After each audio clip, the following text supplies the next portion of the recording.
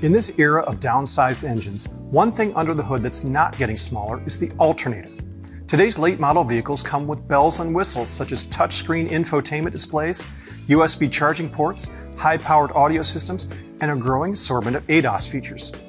Due to the increasing power demands, we're seeing 120, 160, and even 200 amp alternators in vehicles to power their electrical and electronic systems. The alternator is part of the accessory drive belt system and it's usually driven by the serpentine belt. Keep in mind that the belt is not simply spinning, but it's actively transferring power from the crankshaft throughout all the accessories. Vibrations occur in the belt as the vehicle accelerates and decelerates. The mass of the alternator creates resistance against the serpentine belt when the engine accelerates and then decelerates. Also, the belt experiences micro vibrations with every power pulse of the engine and when accessories such as the AC compressor cycle on and off. If these vibrations are not properly managed, they can cause several problems in the system, namely belt flutter, belt slip, and unwanted noise. Belt flutter hammers the accessories the belt comes in contact with. Belt slip causes friction, excessive heat, and wear on the belt. If this is not corrected with complete serpentine belt system maintenance, the slipping gets worse material wears away from the ribs and causes the belt to bottom out. Excessive belt flutter and belt slip can affect the performance of the alternator and other accessories.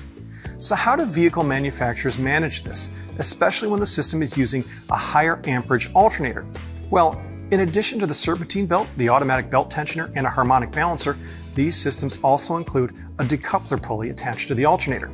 In particular, we're seeing a type of decoupler pulley called the overrunning alternator decoupler pulley, or OAD, especially on four-cylinder vehicles. Like all decoupler pulleys, the OAD disengages the alternator's rotational mass from the belt drive when there's sudden belt deceleration. An OAD pulley also features a sophisticated internal spring and clutch system, a damper, that absorbs the force generated by belt accelerations and tension reversals.